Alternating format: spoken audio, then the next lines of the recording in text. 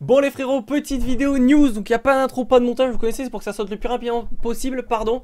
Déjà, merci à tous de regarder cette vidéo les frérots, on va aller parler du LF qui va sortir demain et possiblement de ce qui peut sortir à côté parce que vrai, c'est vrai qu'on a été un petit peu perturbé, on va pas se mentir et on va voir un petit peu déjà qu'est-ce qu'on nous dit sur le personnage. Donc comme d'habitude, n'hésitez pas à mettre un petit pouce bleu et à vous abonner, ça fait toujours extrêmement plaisir. On sort du live donc euh, bon bah voilà, je vais faire une petite vidéo s'il vous plaît comme d'habitude. Merci du soutien. Alors les gars, oui, vous l'avez vu, c'est un Goku SSJ4 LF. Vous allez voir, je vous dis pas mais si je vous le dis quand même, Ryuken LF qui va sortir sur le jeu. Donc on s'en doutait quand même pas mal. Il y avait ça un petit peu, pourquoi pas, du Gogeta 4, ça pouvait arriver. On pouvait pas dire que c'est pas possible. Donc du coup, vous en doutez, Gogeta 4 anniversaire, ça pue clairement. Du coup, on va voir un petit peu ce qu'il fait, etc. Alors j'ai les voix anglaises parce que tout simplement, j'ai que le Facebook anglais pour l'instant qui a tweeté quelque chose, euh, qui, a, sorti quelque chose. Au niveau du Twitter, j'ai strictement rien. Si on pourrait voir la vidéo directement, mais bah, là il y a plus de détails, je trouve. On voit l'aspect, on voit la cover et tout. Donc je trouve que c'est mieux. C'est parti pour ceux qui n'ont pas vu. Let's go. Je me tais, je vous mets euh, voilà, le discope audio et euh, le son de mon téléphone surtout parce que j'étais en train de me dire. Ok, je vous mets sur mon téléphone. C'est parti. Cover spécial. Verte. Ok. Kikoa, basique. Strike. Plutôt stylé strike avec le petit retour. L'aspect, incroyable. L'aspect, elle est vraiment stylée. Elle est vraiment stylée. Et là, vous en doutez. On n'a pas les voix originales, dommage. Et regardez, regardez ce chef-d'œuvre. Je vous laisse. Il est incroyable. L'Uti est magnifique. L'Uti. Bon, on sent l'impact. Je trouve que l'impact des coups est incroyable. Dragon Fist Incroyable. Il est absolument incroyable, les gars. Vraiment. La pose de victoire, vraiment. Le perso en lui-même est juste beaucoup, beaucoup trop. Plus je regarde, plus je trouve qu'il est beau. Déjà la cover, je trouve que la petite déception au niveau de la cover, pardon, puisque la cover, bah, c'est une cover euh, qu'on connaît déjà. Euh, rien de, c'est pas, il y a pas un petit plan sympathique. Ça, c'est un petit peu le défaut. Là, ce qu'on va voir directement, c'est la verte. On voit la verte. Regardez, la verte a une armure Kikoa. On l'a vu, le petit, euh, la petite cover bleue dessus. donc il a une cover Kikoa. Alors attention, une verte qui fait force switch, faut bien retenir, une, verte, une verte qui fait force switch. Pourquoi c'est intéressant de retenir la verte? Parce qu'on sait que Super 6 génère des vertes en Team GT. Donc ça peut être très important qu'une verte soit très très forte, donc on va voir ça ensuite pour la suite. Beaucoup de suite à la suite. Euh, la strike plutôt stylé, l'aspect. Spé de loin, cover Kikoa, enfin spé de loin, spé de près pardon. Et cover Kikoa. Donc on passe à travers les Kikoa, donc euh, la verte passe à travers les Kikoa, l'aspect passe à travers les Kikoa. L'ulti passe à travers les Kikoa. Ça fait beaucoup. Et là, ouais, je, sais pas à partir de quand va s'arrêter le LF. Peut-être maintenant. Peut-être à partir... Non. Peut-être à partir de là. Oh là là. Ou à partir de là, j'en sais un. Je sais pas, mais c'est trop beau. Oh Vraiment, c'est... Oh, pour un jeu mobile, les gars. Rendez-vous pour un jeu mobile Dragon Ball. La pause de victoire de LF est incroyable. Donc, euh, bon, bah, moi, je suis ultra hype. Je suis ultra hype. Euh, pause de victoire euh, non LF qu'on n'a pas. On n'a pas au niveau du Rising Rush également la petite pause qu'il fait, donc il y a moyen de voir des choses. On va voir un petit peu ce que fait le personnage, ce que nous en dit. Vous allez voir que c'est hyper, hyper intéressant. Alors euh, voilà, c'est ici.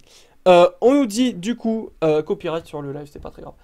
il augmente ses dégâts infligés et réduit les dégâts subis à chaque fois que l'adversaire utilise un art spécial, art physique ou art d'énergie. Donc à chaque fois que l'adversaire utilise, c'est pas il se fait, il se fait toucher, c'est aussi important, c'est que si vous utilisez, il utilise que vous esquivez, ça marche. Donc un art spécial, donc une spé, euh, une Kikwa ou une strike, vous allez vous booster et réduire vos dégâts. Alors ça peut être fort, parce qu'en vrai, ça peut être fort si le perso tank en vrai. Parce que si le perso ne tank pas, s'il prend deux strikes et qu'il meurt, ça peut être très utile, vous n'allez pas en profiter. Par contre, euh, on sait que le perso passe à les Kikwa. Donc du coup, forcément, il utilise une Kikwa, passe à travers, vous boostez, ça peut être fort. Euh, ensuite, réduction de dégâts à chaque fois, je crois que c'est un petit peu comme Majin de mémoire, vous me direz. Je crois que Majin fait un petit peu ça, c'est-à-dire qu'à chaque fois qu'il se fait taper, euh, il se booste ou il réduit... Non, il réduit les dégâts à chaque fois qu'il se fait taper, je crois que c'est ça, à chaque carte, donc c'est plutôt pas mal. Il se renforce encore plus lorsqu'un allié est KO. Son art ultime, point du dragon enragé doté d'une armure d'énergie, est dévastateur. Alors, ce qu'il faut savoir, c'est que la traduction anglaise euh, sur live disait bien que euh, l'ulti...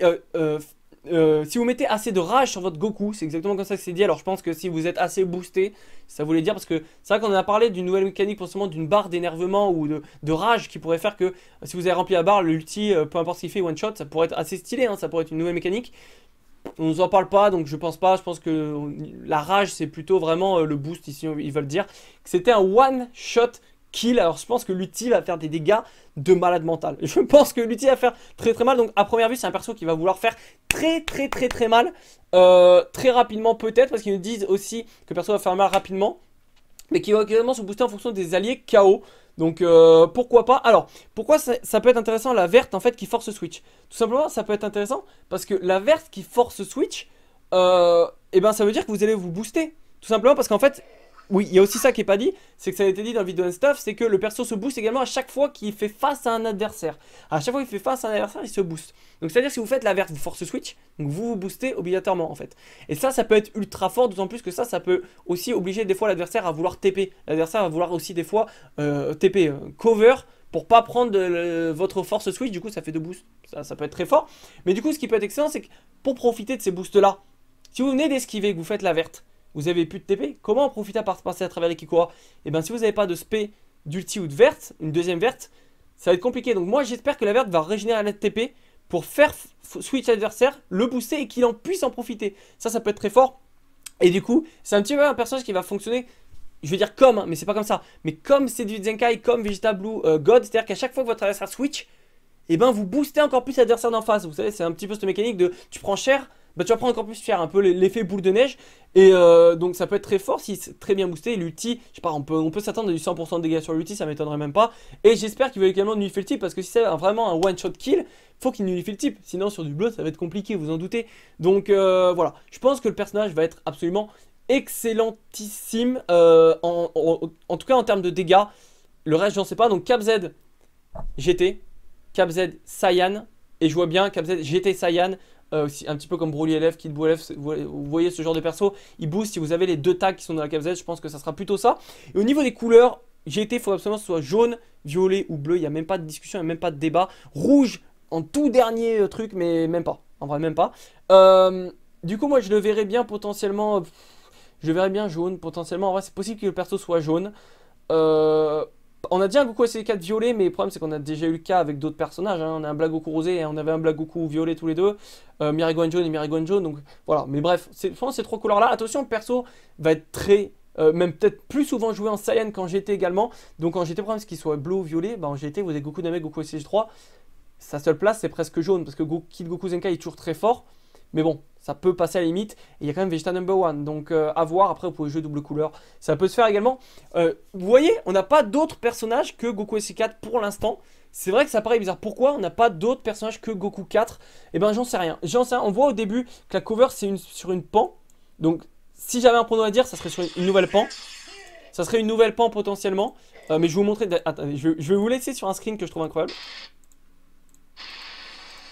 Ah non, j'ai hâte de voir quand l'adversaire va abandonner à ce moment-là. Attendez. Je vous le mets, voilà, voilà.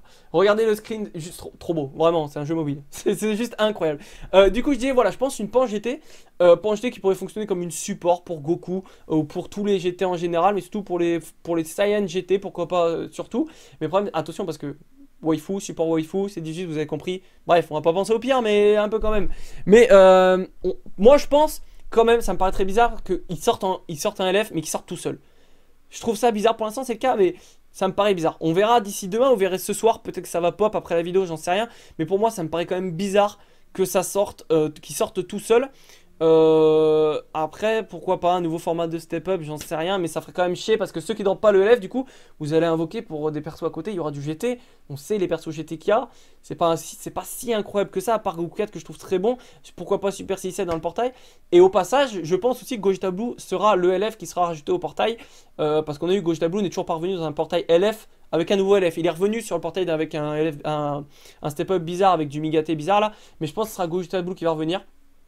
Donc euh, voilà, à voir. On sait aussi qu'il y aura bah, un All-Star le mois prochain. L'Elix du Venjump arrive, donc je pense aussi qu'il y a grave moyen que là il push la team GT à mort et que le prochain All-Star ce soit deux persos GT. Il y a vraiment, vraiment, vraiment moyen. Donc n'hésitez pas à me dire ce que vous en pensez dans l'espace commentaire. Moi sur 20, je lui mettrai un, je lui mettrai un petit 17,5, 18 sur 20 personnellement. Euh, je trouve que c'est déjà plutôt pas mal. Donc merci à tous d'avoir suivi cette vidéo. N'hésitez pas à mettre un maximum de pouces bleus et à vous abonner. Et on se dit à très très très vite sur la chaîne YouTube les frérots. Dites-moi votre hype dans l'espace commentaire.